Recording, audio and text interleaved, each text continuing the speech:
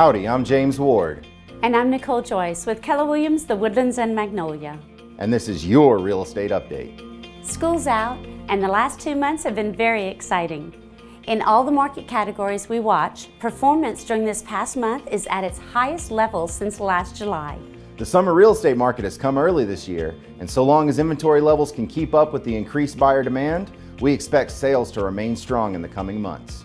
We are seeing the highest demand for homes priced below 300,000. However, there is increased activity at all price points. There is no time like the present to sell your home. If you're considering a move, reach out to your local KW Woodlands and Magnolia agent. This market's almost as hot as the weather, and there are great deals to be had. Enjoy your summer, and I hope to see you at the Spring Concert Series at Market Street.